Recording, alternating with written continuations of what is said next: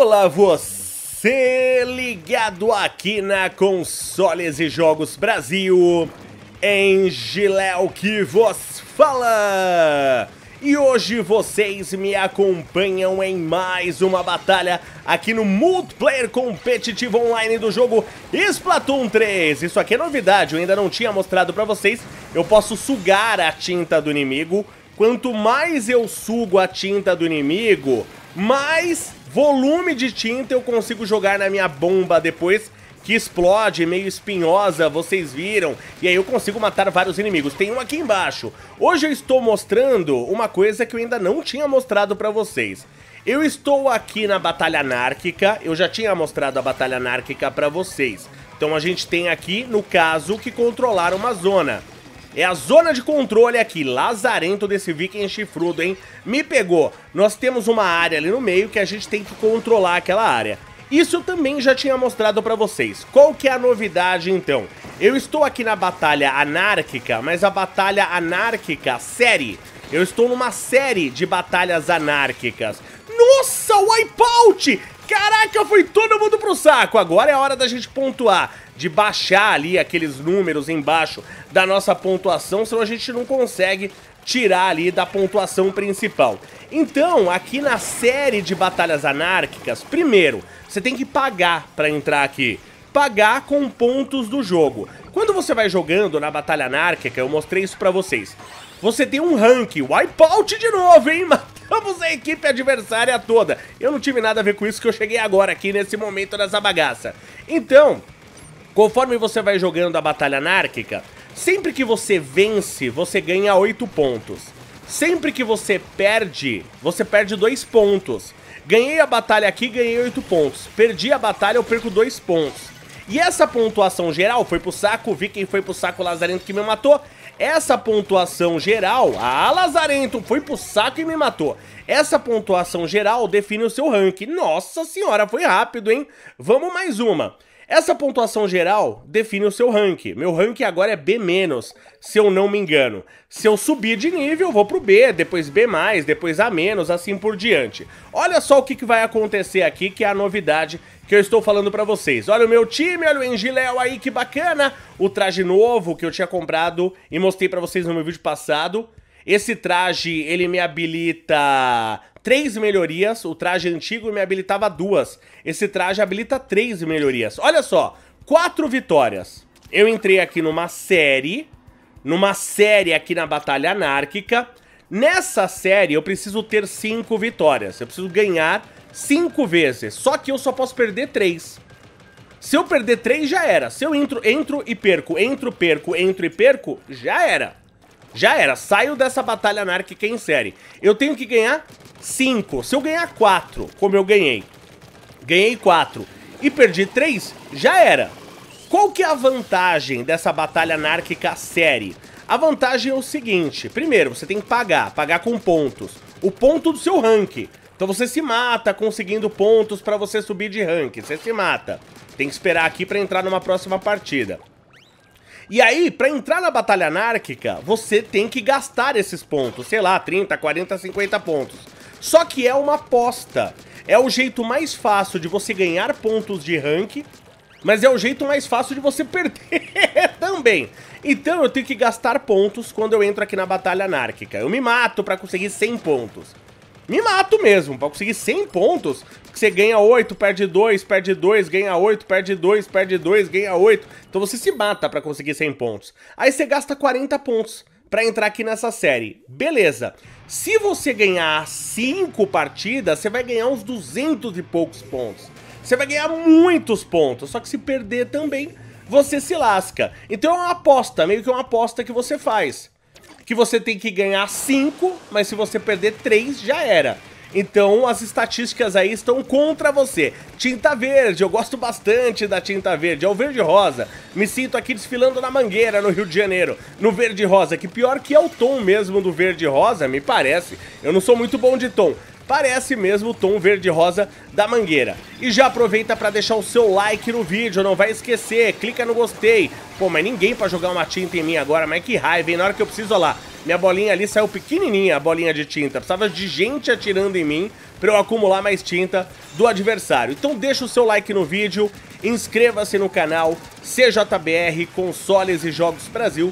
Lembrando que eu sou o Léo Engiléu ou Leonardo me chamam aqui das três maneiras. E ativa o sininho. Você que já está inscrito, verifique se o sininho está ativado aí para você ficar por dentro das novidades. Dominamos as duas áreas, nosso ponto estava caindo. Eles tomaram conta da área do lado. Agora aqui nós temos duas áreas, não é uma área só. E esse mapa é o, é o demônio, esse mapa aqui. Eu não gosto muito desse mapa, não. Esse mapa é bem, bem complicado. Eu prefiro o outro mapa. Esse mapa aqui é bem complicado, mas é o que tem para hoje. Eu me adapto melhor naquele primeiro mapa aí que eu mostrei pra vocês. Esse segundo é bem complicado. Ah, eu não tenho essa arma de bolha. Essa arma de bolha, ela é complicada. Eu tinha ela no Splatoon 2 é complicada porque vai muito longe essas bolhas só pro Cristo. O cara vai jogando essa arma aí, olha que lazarento, ele taca as bolhas lá da casa do chapéu, a bolha vem quicando, quicando, quicando, te acerta lá não sei aonde. Lá depois que Judas perdeu as meias, que as, a bota ele perdeu antes, o lazarento. Então tem um baita de um alcance essa arma de bolha e para esse mapa especificamente, que é um mapa estreito, tá vendo? Ele é um mapinha estreito, fica todo mundo meio que afunilado aqui. Essa arma de bolha aí que o inimigo tá é o bicho, que ele vai atirando e dane-se. Quem tiver do outro lado lá vai ser acertado. Mas essa minha equipe é boa. Então eu entrei aqui nessa série, pior que eu entrei nessa série aqui sem querer. Não era pra ter entrado nessa série, eu queria entrar na Batalha Anárquica normal, justamente porque você paga pra entrar aqui, mas paga com pontos do jogo, hein? Não precisa gastar dinheiro não, lazarento. E aí eu ia entrar na batalha anárquica e eu já cliquei, apertei o... Ai, caraca! Cliquei na série, cliquei na série sem querer. Já pegaram meu dinheiro mesmo, meus pontos, no caso. Eu falei, beleza, vou entrar. Entrei aqui e conseguimos ganhar três. Falei, pô, legal, vou gravar já isso aqui pra mostrar pro pessoal. Então ganhamos mais uma, ganhamos a quarta. Se a gente ganhar essa, acabou a série e aí a gente vai ver... Caraca! Tá muito embaçado isso aqui. Pô, mas como é que os caras estão dando a volta assim, em toda hora me pegando ali por trás e minha equipe não faz nada? Nossa, mas eu tô com a equipezinha ruim. Pô, pior que eles tiraram todos os pontos ali, tem uns pontos de barreira. A gente entra aqui na equipe, tem os nossos pontos, todo mundo tem 100 pontos. Tem os 100 pontos da equipe verde os 100 pontos da equipe rosa. Quem zerar os pontos, primeiro ganha. Só que aí você pega um... que eu nem entendi ainda como é que funciona isso. Mas você pega uma área, aí você perde a área. Aí você já não consegue pegar a área logo de novo, imediatamente. Tem uns pontos de barreira que não sei se é baseado... Eu acho que é baseado em quanto tempo a outra equipe ficou com a... com a área sob controle. Então, se a equipe fica muito tempo com a área sob controle, você toma a área, mas você ganha uns pontos de barreira, que são aqueles pontinhos brancos embaixo dos pontos ali verde e rosa. Olha lá, a gente tem 14 pontos de, de, pontos de barreira. Pra gente começar a tirar os nossos pontos, a gente tem que tirar os 14 pontos primeiro, que já foi pra 18, olha lá. E eles têm 26 pontos. Só que eles estão ganhando, porque o que conta é a pontuação colorida, é o 73 verde e o 53 rosa.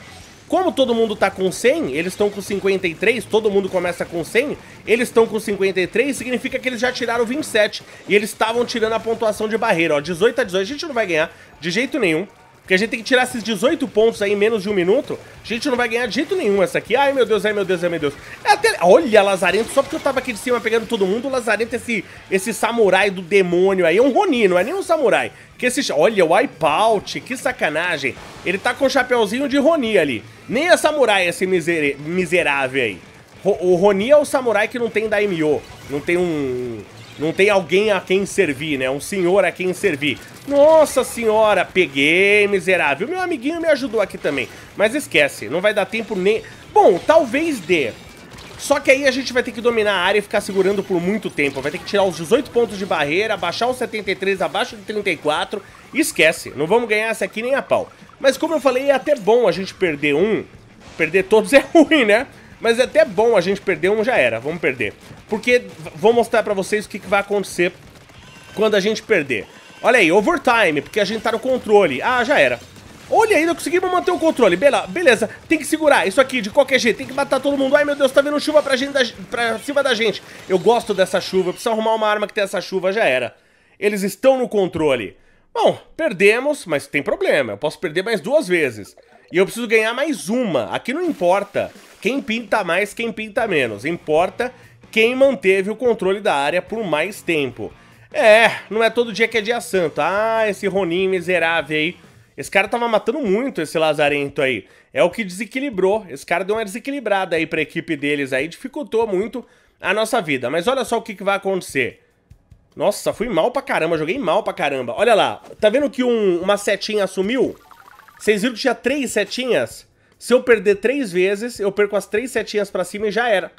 Aí eu vou recuperar um tanto da grana que eu investi, porque eu ganhei quatro, na verdade. Mas eu preciso ganhar mais uma, preciso de mais uma vitória. Por isso que eu vou para mais um combate. Enquanto isso, compartilhe esse vídeo. Deixa o seu comentário, que apoia muito. Deixar o seu comentário... Primeiro, que eu leio todos os comentários que vocês deixam aqui no canal, mas mesmo se você não tem nada para falar, escreve qualquer coisa aí, oi que seja, só para apoiar na divulgação do vídeo, que aí você colabora bastante aqui com o canal e eu agradeço demais. Vamos esperar o pessoal, ainda bem que o pessoal saiu, porque essa minha equipe aí não era muito boa não. Ficaram só dois, olha lá, o círculo enchendo verde, eu captando a tinta. Quanto mais tinta eu capto, maior essa explosão, tá vendo que é uma explosão meio espinhosa? Dá pra ficar bem maior do que isso, vocês viram que eu peguei metade do volume de tinta que dava pra eu pegar, mas é o que tinha pra hoje. O jogo tá muito legal, tudo bem que até esse momento é praticamente o mesmo Splatoon 2. É que o Splatoon 2 aí, tanto tempo... Aqui, aqui no canal, aliás, você tem a série Splatoon completa. Porque tem a tem Splatoon 1, tem Splatoon 2 e tem Splatoon 3. Tanto multiplayer como modo história. Do Splatoon 1, do Splatoon 2, tem o modo história aí também do Splatoon 3 no canal. Olha aí, agora eu vou pegar a tinta toda, tá vendo? Agora eu vou jogar a, a, é, não ficou também muito maior, não, não ficou muito maior, não. Mas, beleza, essa tinta verde, esse tom de verde aqui também é legal. Gostei desse tom de verde aqui. O jogo ele é muito bom, porque Splatoon é muito bom. Mas de novidade de arma mesmo, já até mostrei pra vocês essa, essas armas. Nós temos a Splataná, que é a Katana. Aliás, eu já mostrei as duas Splatanás que o jogo traz. Provavelmente outras virão mais pra frente, pelo menos mais uma, eu imagino. Então as duas esplatanás do lançamento do jogo eu já mostrei pra vocês. Tem o arco e flecha, que tem um arco e flecha, que também é a arma novidade desse jogo, já mostrei pra vocês. Olha lá, 100% agora. Vamos jogar ali em cima pra ver como é que fica. Ah, nem deu tempo de explodir. nem deu tempo de explodir. Mas beleza, vocês já tinham visto já como é que funciona.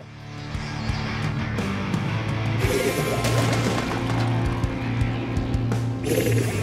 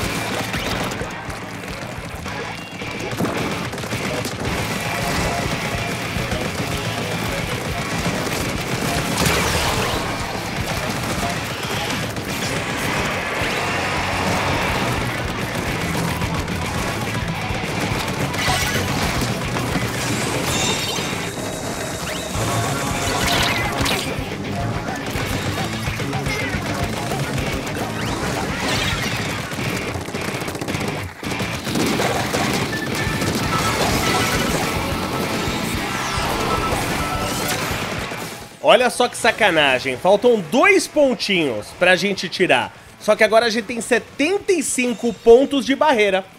Então pra gente tirar esses dois pontos agora vai ser muito difícil. Mas fazer o que? A gente tem que tirar. Essa arma que eu tô usando...